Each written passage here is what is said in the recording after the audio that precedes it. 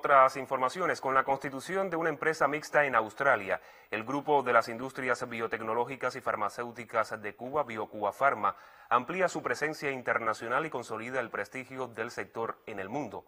La nueva asociación se establece entre el Centro Nacional de Investigaciones Científicas y la empresa Ryder PTG, ambas con larga tradición de colaboración en materia tecnológica y que favorece aún más la comercialización de los productos PPG y Avexol, devenidos en líderes de esa institución cubana. Recientemente el Centro Nacional de Investigaciones Científicas presentó los resultados de un estudio que evaluó el impacto del uso del PPG en el control de la hipertensión arterial en 400 personas prehipertensas y de grado 1, el cual evidenció una disminución significativa de los valores máximos y mínimos a partir de las 12 semanas del consumo del fármaco. Continuamos con otras noticias.